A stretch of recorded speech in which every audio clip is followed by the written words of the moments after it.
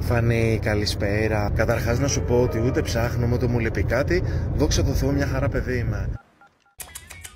Και κοίτα τα χαλιά. 20 χρονών και σαν πεθαμένο. Στραβώθηκε μες αυτήν τη μαλακία μες στα μούτρα όλη μέρα. Φέτος οπωσδήποτε θα βρεις μια δουλειά. Δεν θα σε έχω εγώ όλη μέρα εδώ μέσα να κάθεσαι. Σήμερα σηκώθηκες μόρεξ.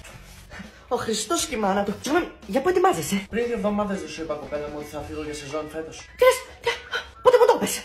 Θα φύγεις να δουλεύεις πού, να πα να δουλέψει πού, παιδάκι μου μόνο εκεί πέρα, πού θα μείνεις καταρχάς; Πάλι δεν μου έλεγες να σηκώθω να βρω μια δουλειά, αλλιώς να φύγω από εδώ μέσα. Και βρήκα και δουλειά και φεύγω από εδώ μέσα. Δύο σε ένα. Κρατάτε με, θα με τσακίσει κολούμπρα.